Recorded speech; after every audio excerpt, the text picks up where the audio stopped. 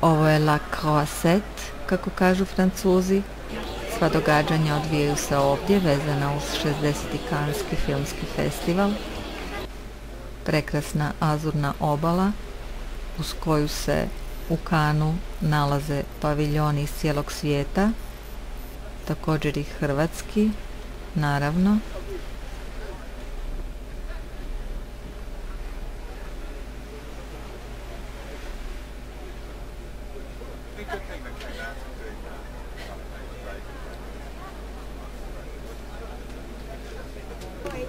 Ovo je bivša Bond djevojka, partnerica Shona Connerija u jednom od filmova o Jamesu Bondu sa svojim psićem kojeg je nazvala James Bond. Ovdje su inače ulazi u paviljone gdje se može ući samo sa akreditacijom. Evo i hrvatske zastave i paviljončića.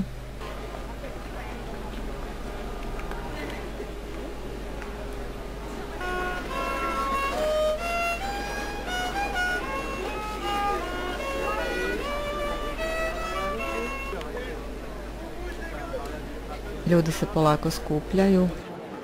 Još uvijek nema gužve, no mnogi su danima unaprijed rezervirali svoja mjesta postavivši stolice što je najbliže moguće crvenom tepihu kako bi imali što bolji pogled.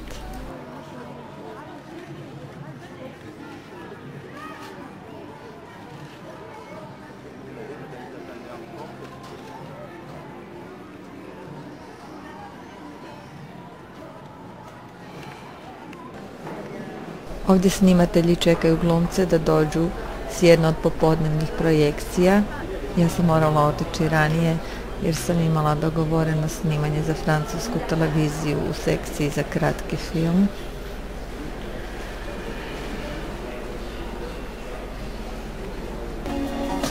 Kao što vidimo snimatelji moraju biti obučeni u smoking, a snimateljice u večernju haljinu.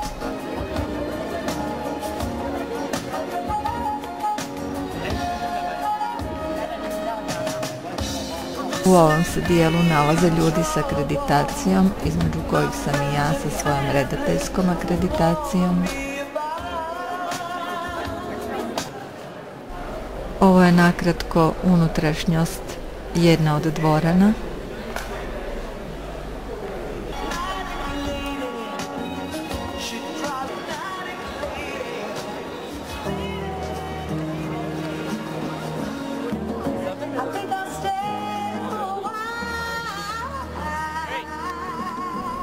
Mi s ove strane, nažalost, ne možemo naročito dobro vidjeti glumce, jer nam zaklanjaju pogled televizijski snimatelji.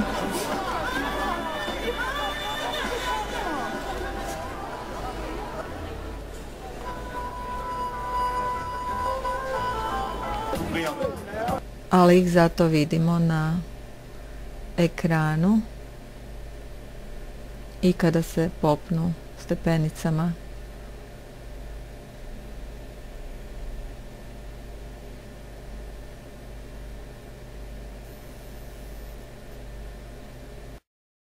Ovo je Jack Gyllenhaal, glavni glumac u filmu Zodiac, s ekipom iz filma.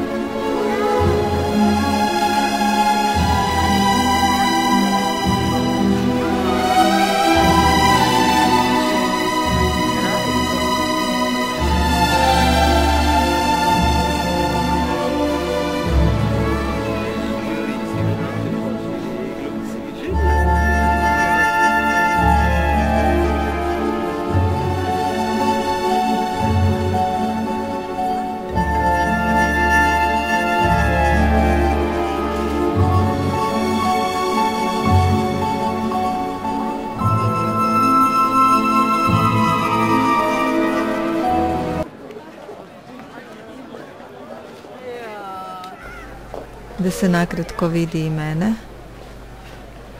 Ovdje idem na jednu od ranih popodnevnih projekcija u Grand Theatre Lumière.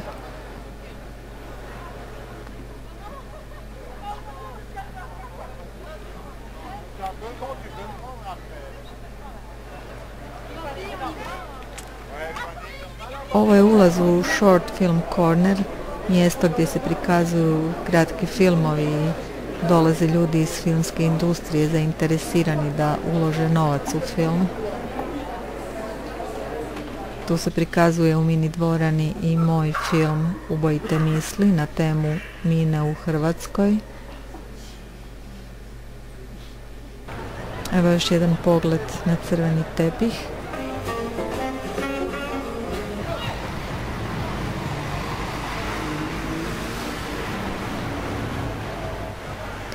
Terasi hotela snimila sam glasovitog francuskog redatelja Claude Leloucha, autora kultnog filma Jedan muškarac i jedna žena. Ovdje u Palais Stefani prikazan je film Savage Grace, Julian Moore u glavnoj ulozi.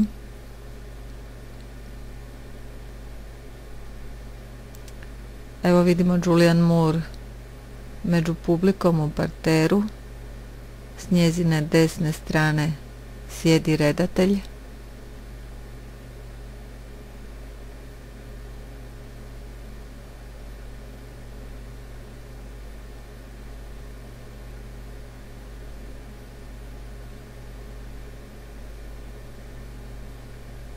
Tema filma prilično je skandalozna, tako da je popriličan broj ljudi izlazio tijekom projekcije.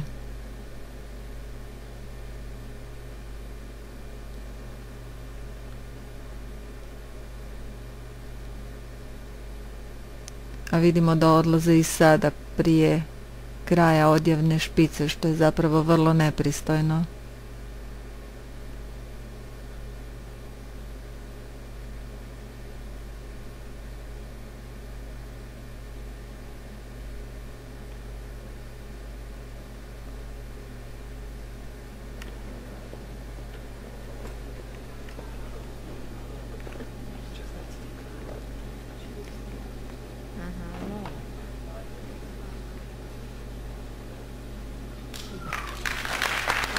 Čini se kako plješću samo iz kurtoazije. Izgleda kako je ipak riječ samo o konzervativnoj publici.